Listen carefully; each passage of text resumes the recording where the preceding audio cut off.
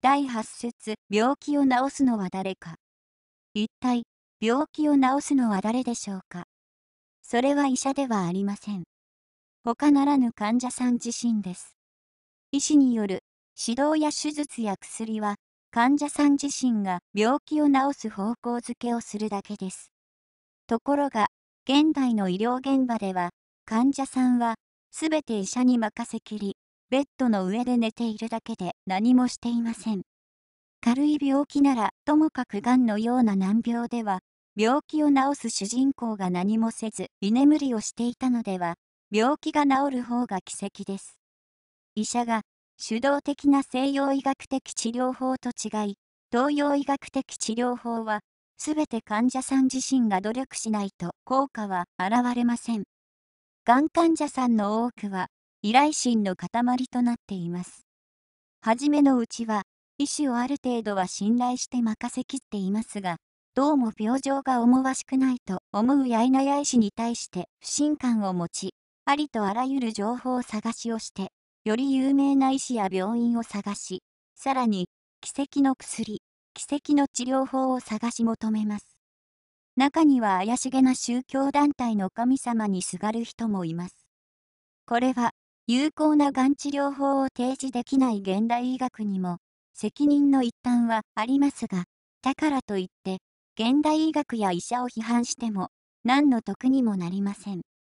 現代医学で確実に治る方法がないと分かったら、一切の依頼心を捨て去って、自分の力と努力で治してみせると決心することです。そして、もう一方で、たとえ病気が治らず、結果的に死に至るとしても、それに動じないようにしようと覚悟を決めることも必要です。患者さんの中には、現代の医療体制はどうしようもなく不備であり、その中で働く医者は、自分の利益しか考えない悪徳医師ばかりあり、自分の病気が治らないのはそのせいである、というようなことをとくとくと述べる人がいますが、そんなことをしても自分に得るものは何もありません。確かに、現代の医療体制には不備な面もあり、悪徳医師も少しは存在するのは事実です。しかし、そのような批判を繰り広げてみても、病気治療には何の効果もないと思います。現代科学の原理から考えても、東洋哲学の原理から見ても、すべての現象は、起こるべくして起こった必然的な出来事であり、必ず原因があります。奇跡などいうものは存在しませんし、偶然に物事が起こることも絶対にありません。したがって、奇跡のように見える出来事にも、必ず原因があります。陸上競技で100メートルを10秒で走ることも、フィギュアスケートの4回転ジャンプも奇跡のように見えますが、素質のある選手がいい、コーチと良い環境に恵まれて、驚異的な努力をした結果、成し遂げた快挙なのです。癌の原因は決して不明ではありません。癌になるには癌になるだけの原因が必ず存在しています。癌を治すことに奇跡を期待してはいけません。耐え、ざる努力によって、あなた自身が癌の原因に気づき、依頼心を捨て去り、それを正しい治療法で克服して病気を治すのが正しい道です。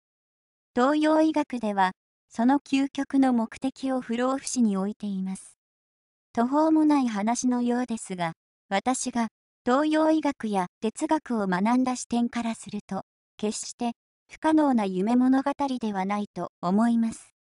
インドの伝統医学であるアーユルベーダでは、単に病気でないという状態だけではダメで、会食、快眠、快便で、心はいつも幸福感に満たされている状態を健康であるとしており、このような健康体を作り出す方法論を説いています。